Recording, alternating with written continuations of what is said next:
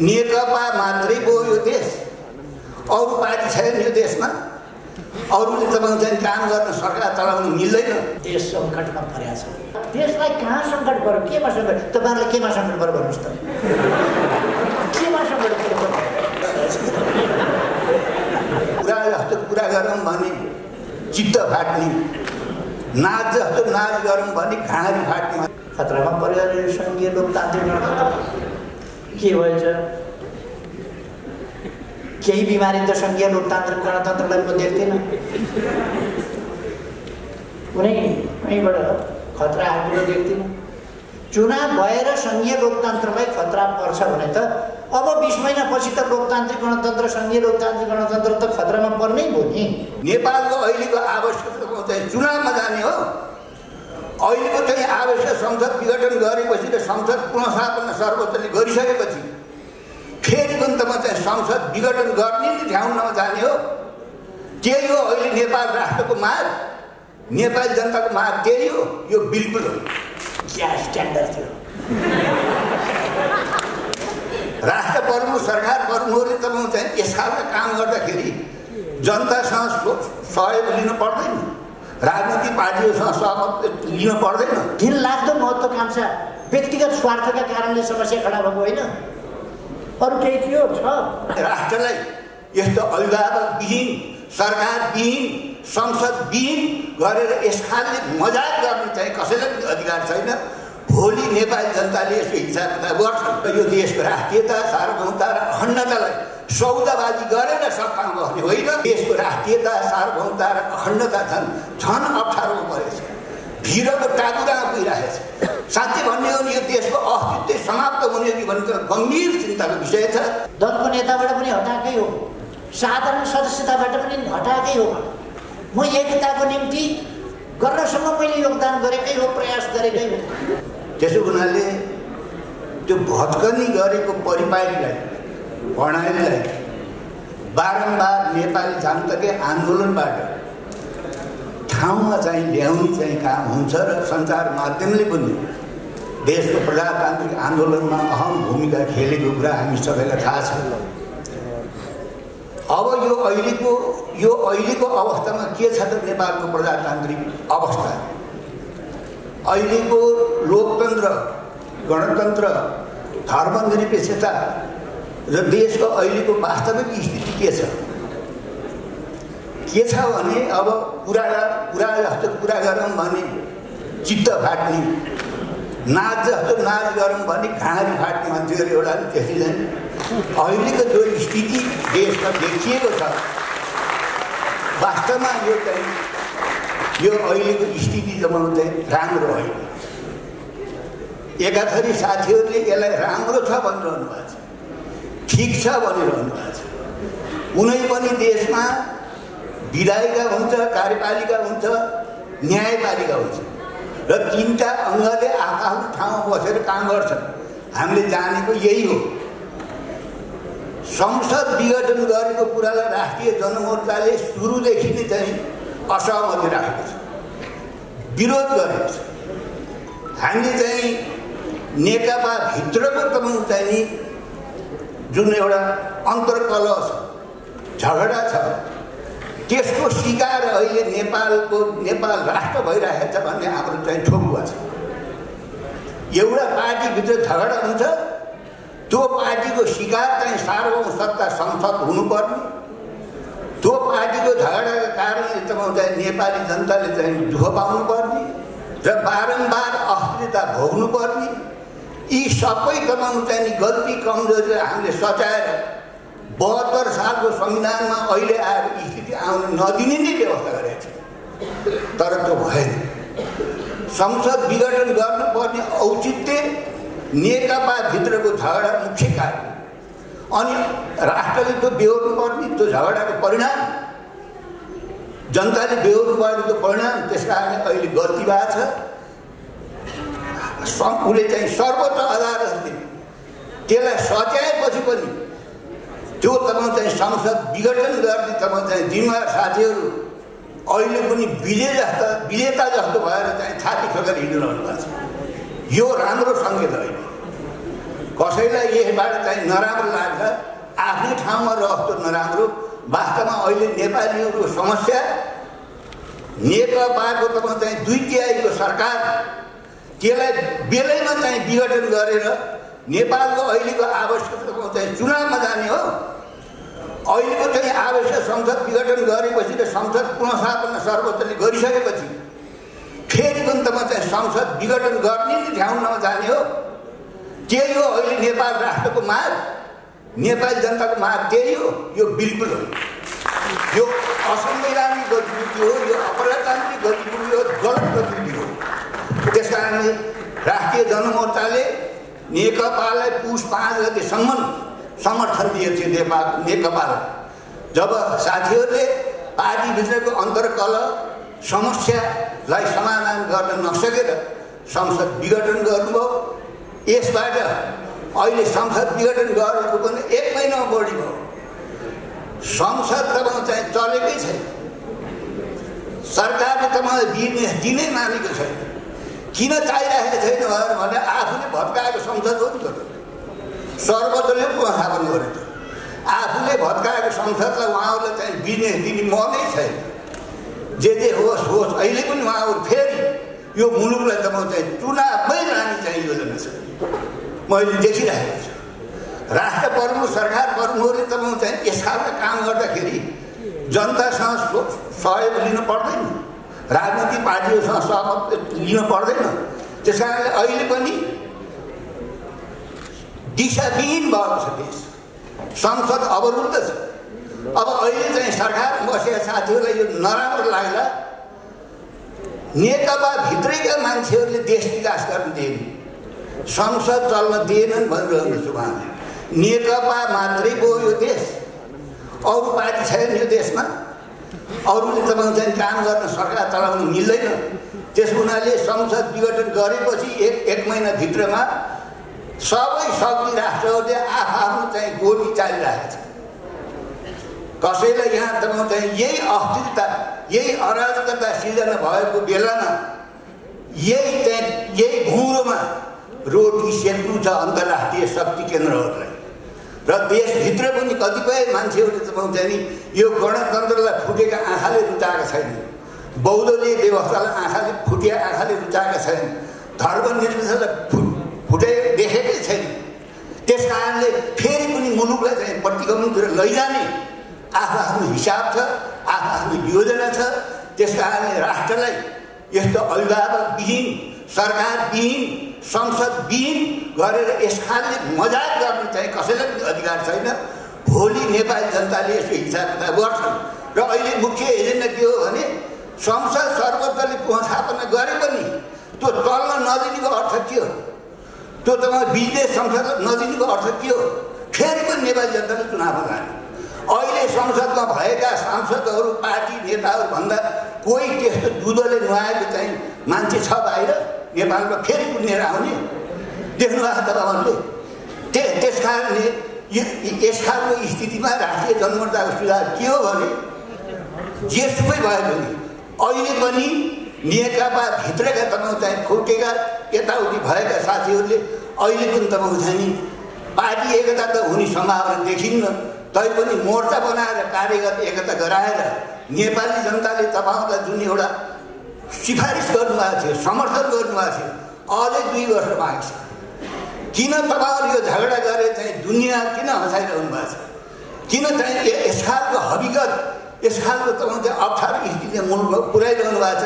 त्यस कारणले अहिले पनि नेपाली जनताले चौहत्तर सालमा तपाईँहरूले दिएको बहुमतका लागि अहिले पनि दुई वर्ष समय बाँकी छ। त्यसपछि चुनावमा जाउँला त्यस कारणले फेरि पनि साथीहरू चाहिँ मिलेर सहकारी गरेर कार्यगत एकता गरेर अहिले पनि वामपन्थीहरूको शक्ति चाहिँ सरकार चाहिँ भन्नुपर्छ अहिले झन् देशको राष्ट्रियता सार्वभौमता र अखण्डता झन् झन् अप्ठ्यारोमा परेछ। भिरको टाकुरामा पुगिरहेछ। साँच्चै भन्ने हो भने यो देशको अस्तित्व समाप्त हुने हो कि भन्ने गम्भीर चिन्ताको विषय छ। त्यस कारणले यो स्थितिमा मलाई चाहिँ चिट आइसकेको छ र यो देशको राष्ट्रियता सार्वभौमता र अखण्डतालाई सौदाबाजी गरेर सत्तामा बस्ने होइन यसको रक्षा गरेर राष्ट्रको रक्षा गरेर जनताको रक्षा गरेर हामीले राजनीति गर्नुपर्छ देश चलाउनुपर्छ। आजको यो कार्यक्रममा रिपोर्टर्स क्लबले बोलाएर राष्ट्रिय जनमोर्चालाई पनि मौका दियो। अहिले यो आठ ठाउँको लडाइँ पहिले सिंहदरबारभित्र हुन्थ्यो अहिले यो आठ ठाउँको किनबेच आठ ठाउँको खरिद बिक्री यसलाई बन्द हुनुपर्छ। यति भन्दै यहाँहरूसँग बिदा हुन्छु। धन्यवाद। माननीय महन्त ठाकुरज्यू माननीय मन्त्रीज्यूहरू माननीयज्यू लगायत सम्पूर्ण यहाँ उपस्थित आज पुरस्कृत र सम्मानित हुनुहुने साथीहरू र अरू तमाम सहभागी साथीहरू दाजुभाइ दिदीबहिनीहरू र सञ्चारकर्मी। भाइ बहिनीहरू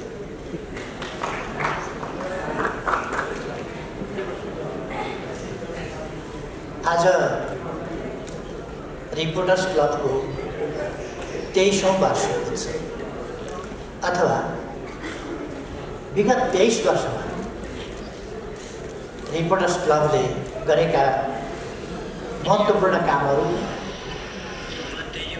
देशको सेवाका निम्ति जनताको सचेतनताका निम्ति गरेका कामहरू र आफैले आफ्नो प्रगति गरेका उपलब्धि गरेका क्षणहरू र सिँढीहरू सम्झिने दिन पनि हो। र यी तेइस वर्षका अनुभवहरूलाई लिएर आगामी दिनमा रिपोर्टर्स क्लब अगाडि कसरी बढ्ने भन्ने योजना बनाउने दिन पनि हो यस घडीमा म रिपोर्टर्स क्लबलाई सफलताका तेइस वर्षहरू पार गरेकोमा हार्दिक बधाई भन्न चाहन्छु। र आगामी दिनहरू अझ बढी सफलताका हुन सकुन्। अझ बढी जनताको स्नेह सम्मान विश्वास रिपोर्टर्स क्लबले आर्जन गर्न सकोस्। हार्दिक शुभकामना भन्न चाहन्छु। धेरै धेरै शुभकामना छ रिपोर्टर्स क्लबलाई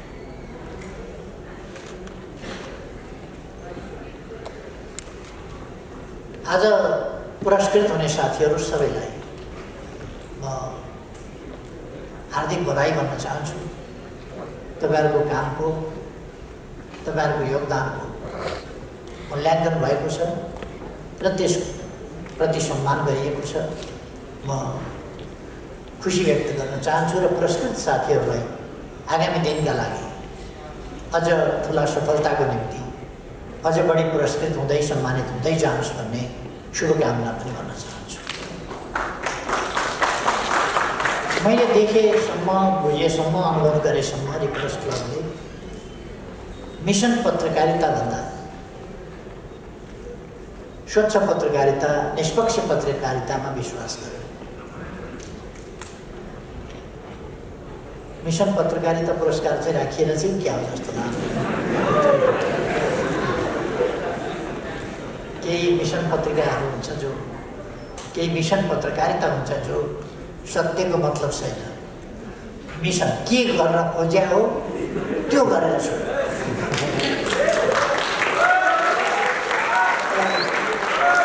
सत्यको अर्थ छैन। कर्तव्यको मतलब छैन। त्यस प्रकारको पत्रकारिताको निकै ठुलो विधि भएका बेला। त्यस्ता पत्रकारिताहरूभन्दा पृथक साँचो पत्रकारिताको साझा मञ्चको रूपमा रिपोर्टर्स क्लबले आफूलाई उभ्याएको मैले पाएको छु। त्यस कारण म रिपोर्टर्स क्लबको प्रशंसा गर्न चाहन्छु यद्यपि म पुरस्कृत भएको छैन होइन। म पुरस्कृत नभए पनि अरू पुरस्कृत भए पनि खुसी व्यक्त गर्न पाइयो र म त पत्रकारिता नै नगर्ने मान्छे कहाँबाट पुरस्कृत हुन्छ तपाईँहरूले मलाई पुरस्कृत गर्नुभएको छ डबलीमा देख्नुभयो अस्ति बुद्धिजीवीहरूको कामै हो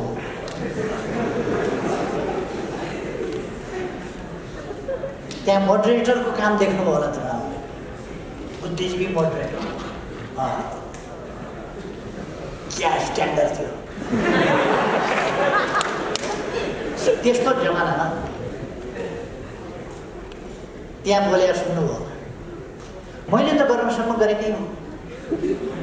केपी ओलीलाई मैले अध्यक्षबाट पनि हटाएकै हो। दलको नेताबाट पनि हटाएकै हो।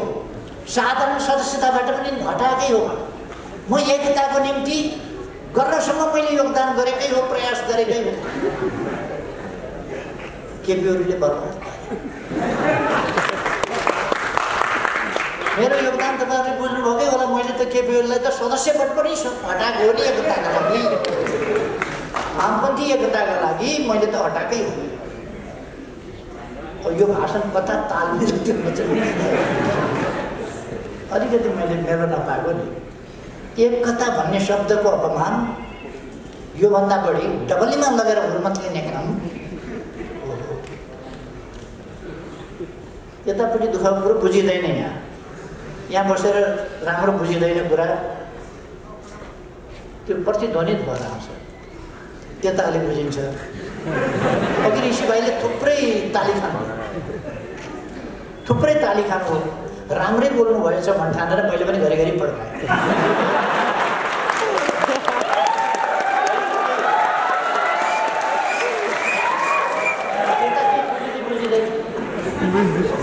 नबुझिएपछि के राम्रो भन्नु होला बुझिँदै बुझिँदैन यतापट्टि बसेपछि त्यता चाहिँ बुझिन्छ त्यस कारण त्यताकोले ताली पड्काउनुहुन्छ यताकोले एकछिनपछि ताली पड्काउनु अरूले पड्काउने देखेपछि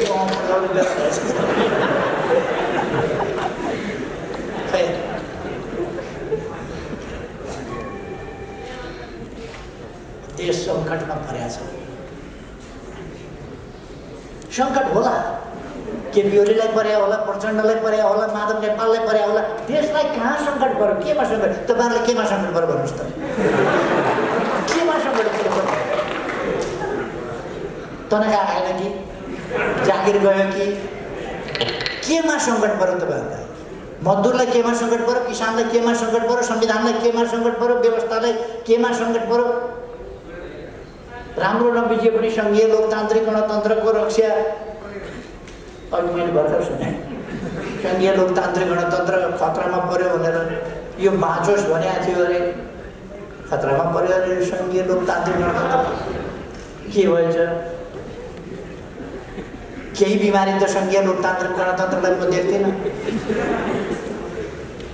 कुनै कहीँबाट खतरा आएको देख्दिनँ।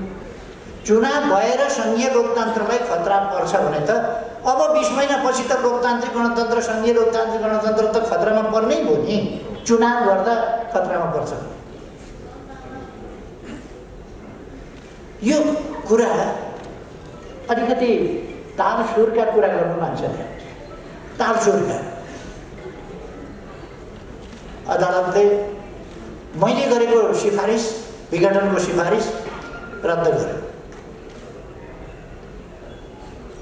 राजनीति बुझेर गर्यो कि राजनीति हेरेर गर्यो कि संविधान हेरेर गर्यो कि संविधानको व्याख्या गरेर गर्यो कि व्याख्या त गर्ने पाइँदैन भन्थ्यो। संविधानले देखिए अनुसार गर्नु भन्थ्यो। खै एघार फागुनमा मेरो सिफारिस बदल गरेर विघटित सभा पुनस्थापना गर्दा म कुनै आवेश उत्तेजनामा पनि आएन केहीमा पनि आएन अदालतको आफ्नो बुझाइ हुन्छ आफ्नो प्रक्रिया हुन्छ उसले आफ्नो फैसला गर्ने हो। हामीले लोकतन्त्रमा अदालतको फैसलालाई मान्ने त्यसलाई कार्यान्वयन गर्ने हो। मान्ने हो त्यसलाई कार्यान्वयन गर्ने अनि त्यस बेला दङ्ग परेर फुरफुर भएर अदालतकी जय जय गान गरेर अबिर जात्रा। अब के के खाइयो त्यो नाम? फेरि खाएको तेइस गते। बाह्र दिनपछि अर्को फैसला। बाह्र दिनपछि अर्को फैसला आउँदा अब अदालत कामै नलाग्ने भयो फेरि। कामै नलाग्ने भयो। अर्कोको अर्कोको पार्टीको नाउँमा दर्ता गरिएछ